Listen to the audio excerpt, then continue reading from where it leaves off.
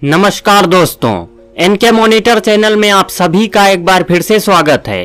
प्रस्तुत है चाणक्य नीति के आधुनिक रूपांतरण की एक और वीडियो। चाणक्य नीति को अच्छी तरह समझने के लिए वीडियो को अंत तक देखना आवश्यक है, क्योंकि चाणक्य जी कहते हैं, अधूरा ज्ञान हमेशा घातक होता है। दोस्तों, आज हर इंसान बहुत जल्दी सफल होना चाहता है। हर कोई चाहता है कि वो सफल बने। कोई भी सफलता पाने के लिए इंतज़ार करना बिल्कुल नहीं चाहता। लेकिन दोस्तों, सफलता हमारे हाथ में नहीं होती, बल्कि सफलता पाने के लिए निरंतर प्रयास करना पड़ता है और उम्मीद भी बनाए रखनी होती है। दोस्तों, सफलता कोई बाज़ार में बिकने वाली वस्तु नहीं है, जिसे आप खरीद कर ले आए।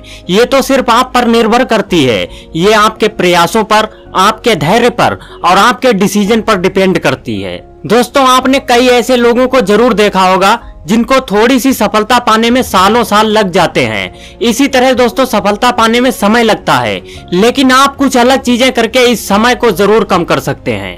आखिरकार आप जल्दी कैसे सफल हो सकते हैं? दोस्तों, इस वीडियो में हम आपको आचार्य चाणक्य द्वारा बताई गई कुछ बातें ज़रूर बताएँगे, जो आपको सफलता पाने में बहुत ही सहायक साबित हो सकती हैं। चाणक्य जी कहते हैं, अगर आपको सफलता चाहिए तो आपको अपनी लाइफ में हमेशा आगे चलना होगा। आपको अपने डिसीज़न और थॉट को खुद बनाना होगा। अकेले चलने का सबसे बड़ा फ़ायदा यह होता है कि आपको बहुत कुछ सीखने को मिलता है, जो साथ रहने में आप कभी नहीं सीख सकते। अगर कोई प्रॉब्लम आती है तो उसे कैसे मैनेज करना है? प्रॉब्लम का सोल्यूशन क्या होगा? आपको ये प्रॉब्लम बहुत कुछ सिखा सकती हैं। कोई भी इंसान जो हमेशा पब्लिक के साथ चलता है, वो कभी भी अपना खुद का डिसीज़न नहीं ले पाता। वो दूसरों की एडवाइस पर डिपेंड रहने लगता है। जब तक आप अपने दिल की नहीं सुनेंगे, आप अपने लक्ष्य से हमेशा दूर ही रहेंगे। दोस्तों, आप अपने आसपास मौजूद लोगों से राय ले सकते हैं। उनके टिप्स और उनकी एडवाइस को सुन सकते हैं, पर उन्हें फॉलो मत करें। जब आप किसी दूसरे की बातों को स्वीकार करने लग जाते हैं तो आपका मोटिवेशन खत्म हो जाता है। आप उन्हें तभी फॉलो करें जब आपको लगता हो कि यह आइडिया या टिप्स मुझे सफलता पाने में हेल्प कर सकता है। दोस्तों, जब कभी भी लक्ष्य की बात आती है तो वहाँ पर योजना शब्द सबसे पहले आ जाता है। कोई भी लक्ष्य बिना प्लानिंग के पूरा नहीं हो सकता। अगर दोस्तों, आपके गोल की कोई प्लानिंग नहीं होगी तो ये निश्चित है कि आप फ्यूचर में अपने लक्ष्य से भटक जाएँगे और आपका माइंड टारगेट भी अधूरा रह जाएगा। इसलिए सफलता पाने के लिए ये बहुत ज़रूरी है कि आप अपने गोल की पूरी प्लानिंग बना लें। फिर अपने गोल को अचीव करने के लिए पूरे जी जान से जुट जाएँ।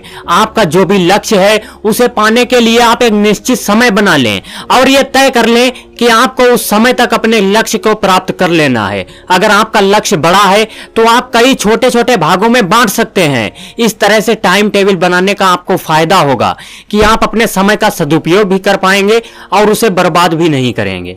दोस्तों, जब भी कोई इंसान अपने दम पर सक्सेस की सीढ़ियाँ चढ़ता है तो उसे गिराने वाले बहुत लोगों का जन्म हो जाता है। मानव स्वभाव तो ऐसा होता है कि वो किसी भी सफल होते हुए इंसान को सफलता से दूर करने की सोचता है। किसी भी बड़े कार्य या लक्ष्य की स्टार्टिंग में कई निगेटिव बातें सुनने को मिलती हैं। दोस्तों, आपको भी स्टार्टिंग में बहुत मुश्किलें झेलनी पड़ सकती हैं। आपको कई लोग आपके लक्ष्य से भटका सकते हैं। दोस्तों, आपको गुमराह करने की भी सोच सकते हैं। तब आपको उस समय सावधान रहना होगा। अगर कोई आपको और आपके बिहेवियर को पसंद नहीं करता है तो ये समझ लीजिए कि वो इंसान आपसे जलता है। अगर आप ऐसे इंसान को अपने आसपास देखते हैं तो उसे अपना दुश्मन ना माने। ये भी संभव है कि कई लोग आपको निगेटिव कमेंट और आपकी आलोचना कर सकते हैं, पर आपको उनकी बातों को इग्नोर करना होगा। आपको अपने लक्ष्य की ओर ध्यान देना होगा, ना कि इन फिजूल की बातों पर। अगर आपने इन लोगों की बातों पर ध्यान दिया तो समझ लें कि आप अपने लक्ष्य पर अपना फोकस नहीं कर पाएँगे। दोस्तों अगर आपको अपने लक्ष्य को पाना है तो आपको धैर्य रखना आना चाहिए। इस दुनिया में जितने भी बड़े बड़े महापुरुष हुए हैं, उनमें सब में ये एक बात कॉमन थी, धैर्य उनके स्वभाव में था। अगर आपने अपने लक्ष्य को पाने में बहुत ही कठिन परिश्रम किया हो, पर अगर आपको सफलता नहीं मिलती, जो आप चाहते हैं तो ऐसे में आप हार मान सकते हैं। और दोस्तों, यही समय होता है, जब पैटियंस आपकी परीक्षा लेता है, और तब आप उन हालातों को कैसे हैंडल कर पाते हैं। आपको खुद में धैर्य बनाए रखना होगा।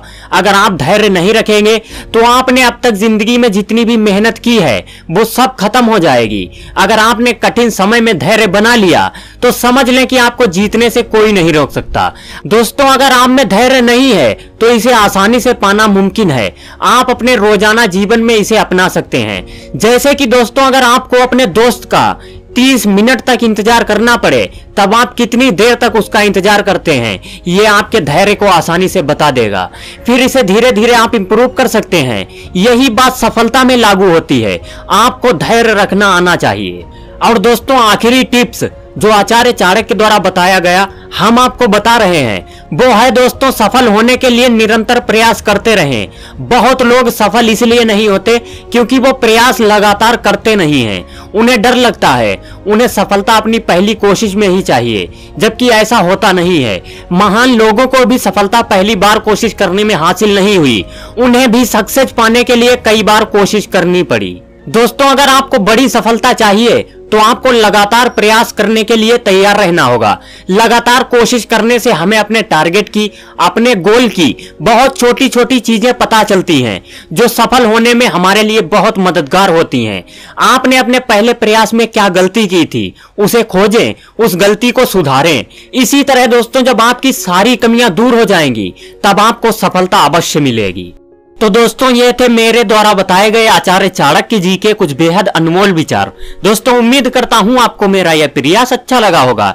इस वीडियो से आपने क्या सीखा, आपको क्या समझ आया, हमें कमेंट में ज़रूर बताएँ। और अगर अभी तक आपने वीडियो को लाइक नहीं किया है तो वीडियो को लाइक कर दीजिए और चैनल को सब्सक्राइब कीजिए और बेल आइकन प्रेस कीजिए, ताकि भविष्य में आने वाली हमारी सभी वीडियोज़ को आप आसानी से देख सकें।